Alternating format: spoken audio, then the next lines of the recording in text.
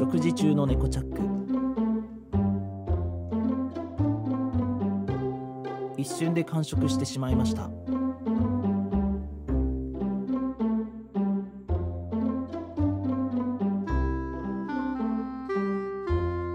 満足したみたいで何よりです。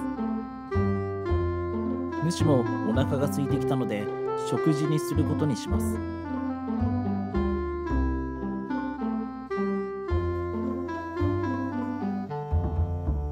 食べようとしたら猫チャックにロックオンされてしまいました。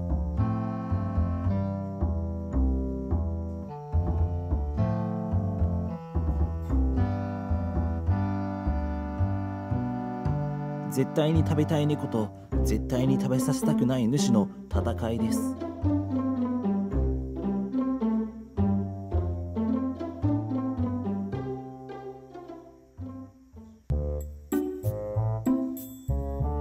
これはよそ見をして主を油断させる作戦です。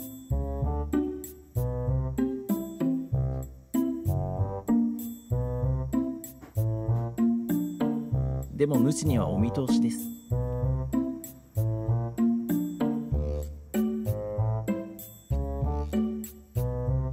どうしても食べたいと言わんばかりの顔。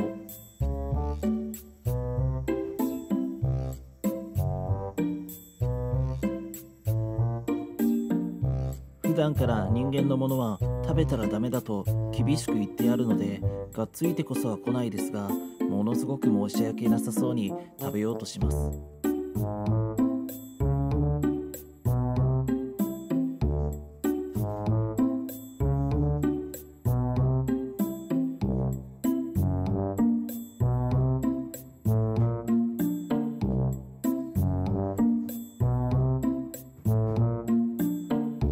の表情を見るとついついあげたくなりますが今日はもうご飯をたくさん食べているのであげれません。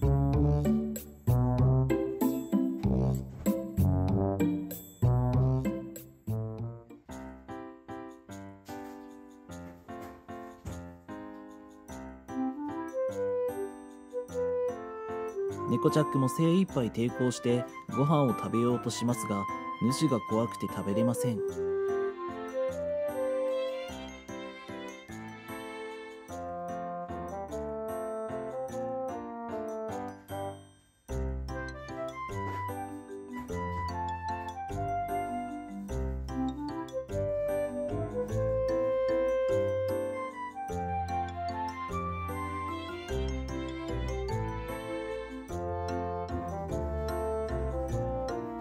ようやく諦めてくれました。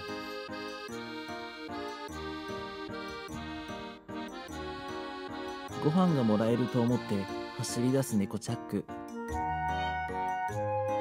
もらえないことを知るとふてにしてました。